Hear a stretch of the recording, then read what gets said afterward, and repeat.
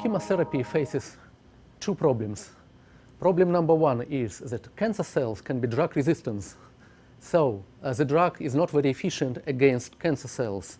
And the problem number two is that the drug at the same time kills normal cells and tissues. So chemotherapy is toxic and dangerous to a patient.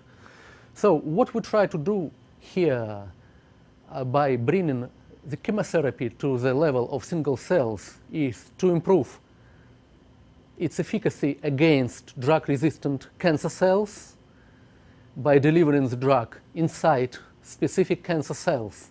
And number two, by reducing the drug doses and thus making the chemotherapy much safer. And third, by reducing the treatment time, which also improves the safety of the treatment.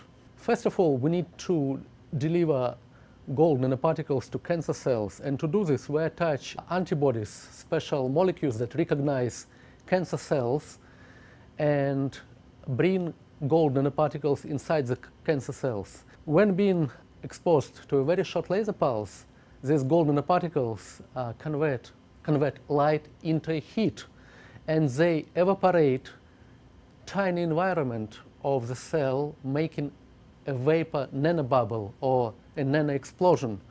And this nanobubble can create a tiny hole, temporary hole in a cell. And if the drug is outside, the next thing the, uh, the bubble will do, it will suck the drug from outside inside the cell. So this is how the drug will be quickly delivered inside the cell. We have started with cancer cell models in a dish and our microscope. And after we obtain this proof of the principle, our next stage is to translate this into a mice model. We work with our MD Anderson Cancer Center collaborators now to study the bubble generation and drug delivery and chemotherapy in a mouse model. We use the same uh, head and neck cancer model. The methods we de developed work at the single cell level, which means that if there are cancer cells surrounded by normal cells, we generate the bubbles, our plasmonic nanobubbles, selectively only in cancer cells, and only cancer cells are killed by injected or released drug. And all adjacent normal cells survive this procedure. We have demonstrated this in several models in our lab.